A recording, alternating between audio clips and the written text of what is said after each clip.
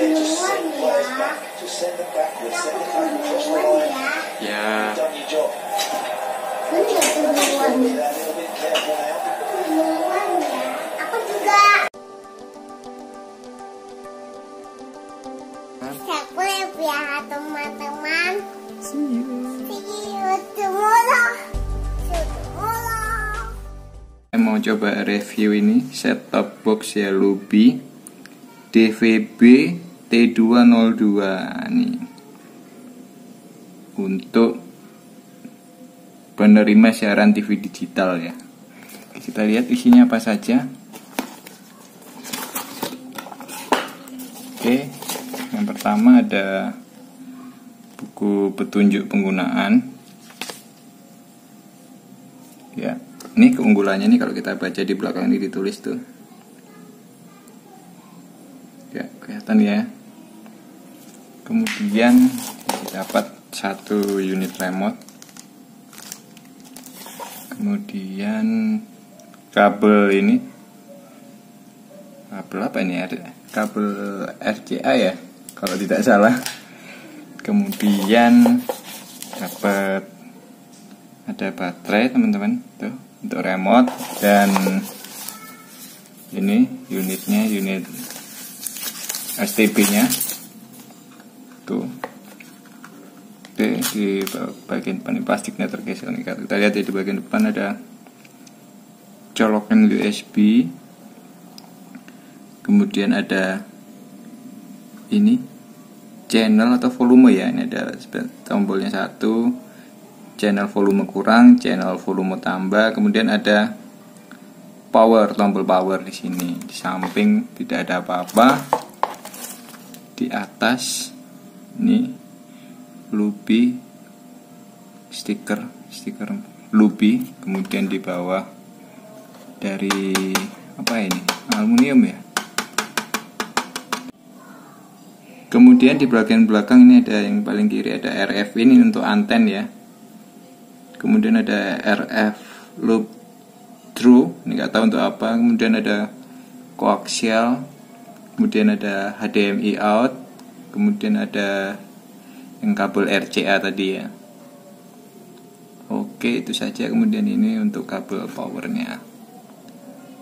Oke sekarang kita coba ya. Oh iya ini saya beli harganya 220.000 di Tokopedia ya teman-teman. Di kotak masih ada satu lagi. Ini kartu garansi teman-teman ya ya teman-teman ini sudah saya pasang. Saya menggunakan kabel HDMI yang ke masuk ke TV ya masih no signal. Kemudian satu colokan lagi saya menggunakan untuk antena ini yang RF in ya. Itu RF in.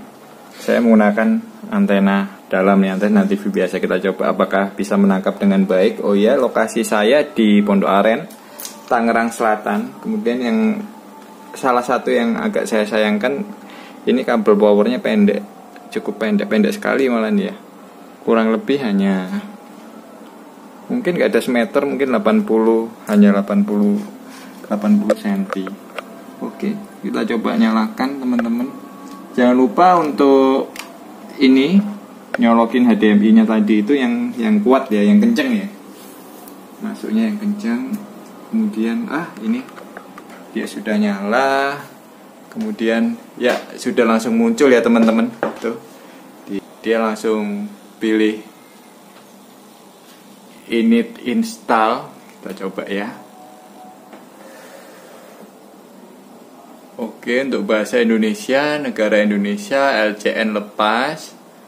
Nah, ini area kode ini kode pos sepertinya teman-teman ya. Apakah harus setting? Ah iya. Ini gimana nih?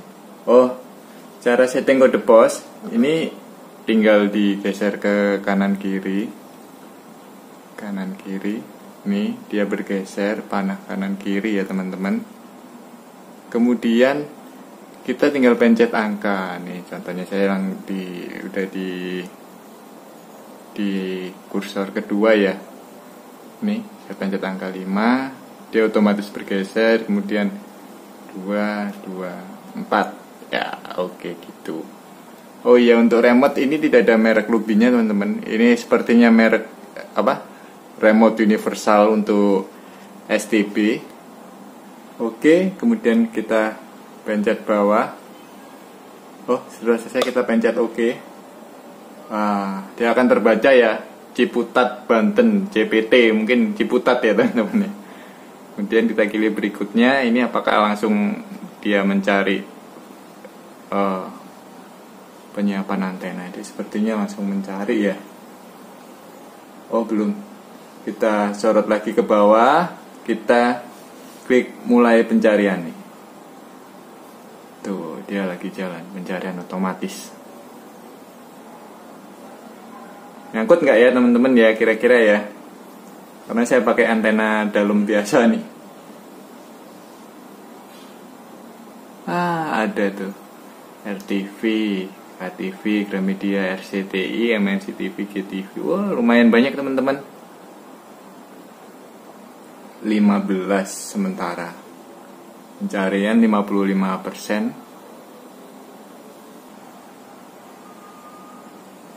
Ya, tidak nyangkut sepertinya teman-teman. Ini RTV. Ah, RTV ya teman-teman. Oke pesan sinyal ada kita klik OK nah ini pilihannya tuh Gramedia MNC ini RCTI Group MNC Group ya GTV iNews Metro TV Magna Channel BIN TV JPM BBS Smile UGTV BTV Berita 1 Trans TV ah saya tidak dapat SCTV teman-teman. Nanti coba saya pencarian ulang ya. RCTI kita coba.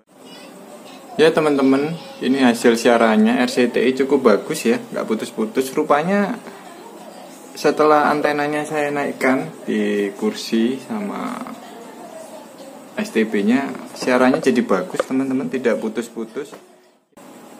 Kalau YouTube kita coba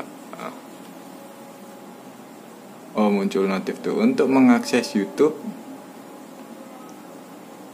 Anda perlu menghubungkan antena WiFi dan mengatur internet Anda. Apakah ini e, diperlukan dongle ya teman-teman? Saya kurang tahu, coba dulu. Tuh. Oh iya, sepertinya diperlukan dongle WiFi ya teman-teman dan itu dibeli terpisah. Coba kita ulang channel search di sini ya. Oke, pencarian otomatis kita cari ulang. Ya, apakah akan dapat grup Indosiar dan SCTV ah dapat teman-teman tuh. Kompas TV oh.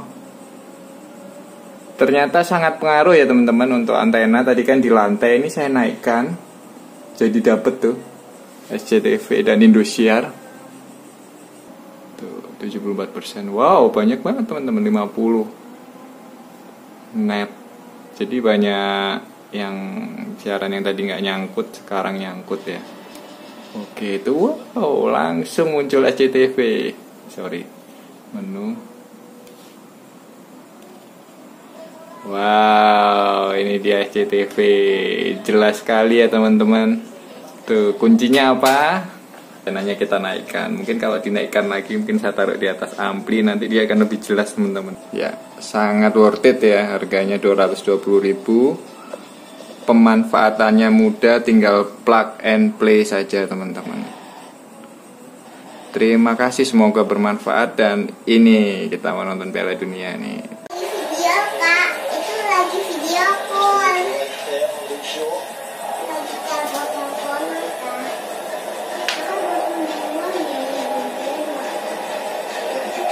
Get just send players back. Just send them back. Send them back across the line. ya You've done your job.